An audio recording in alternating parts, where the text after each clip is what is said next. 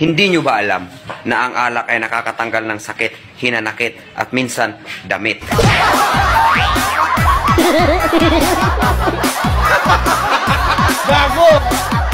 Ang taong may pag-ibig ay mapagtiis, mabait, hindi marunong mainggit, hindi hambog o mapagmataas, hindi bastos ang pag-uugali, hindi makasarili, hindi magagalitin, Kinakamusta niyo ako? Eto ayos lang naman. Hanggang ngayon ay tinatama ang maling nakaraan.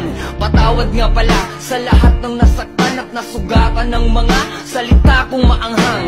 Pero magkaayos, siguro wag Ano sa English ang sukang-suka na ako sa'yo? I'm vinegar, vinegar with you. suka yun!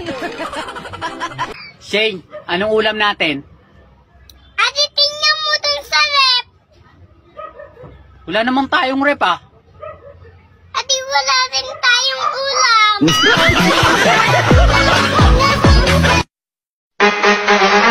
Mabait ka. Maitsura ka. Loyal ka. Maalaga ka. Mapagmahal ka. Nasa sayo na lahat. Wala nga lang jowa. Alam mo, ikaw ang nagsilbing liwanag sa madilim kong mundo. Ayos yung banat mo ha, pang Meralco.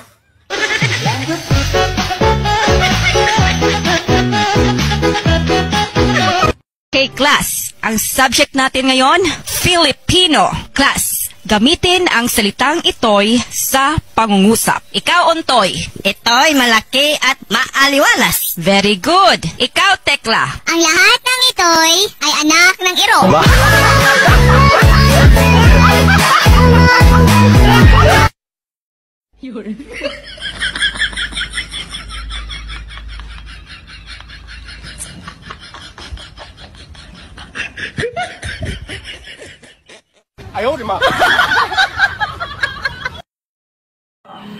Ang babaeng hindi marunong magluto, abay dapat maghanap din kayo ng lalaking hindi marunong kumain.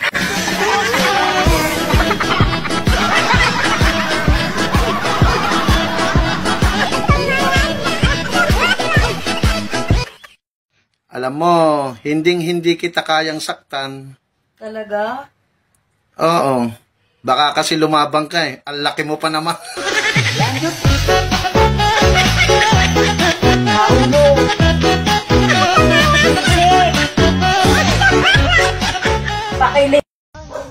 Sabi nila gulay daw yung kamote. Pero bakit nung makakain ako ng kamote, tapos pagyari kong kumain, nautot ako. Ang sabi ng utot ko, fruit.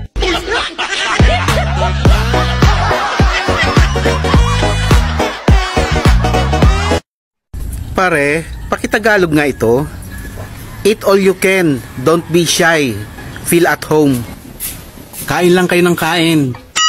Walang hiya kayo. Pakiramdam nyo. Bahay nyo ba to?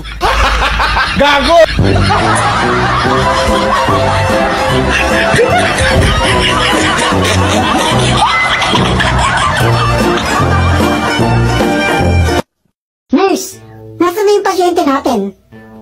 Naku, Dok, pinauwi ko na. Masama daw yung pakiramdam eh.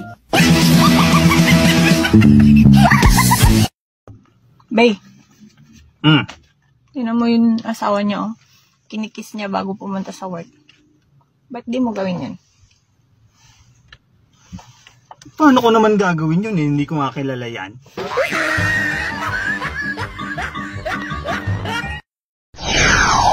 Huwag mo nang i-dribble.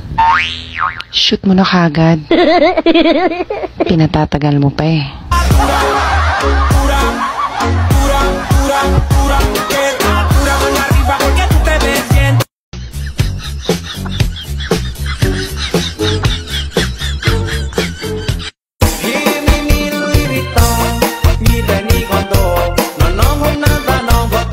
Yo, ha, cuando yo, papi, la mala.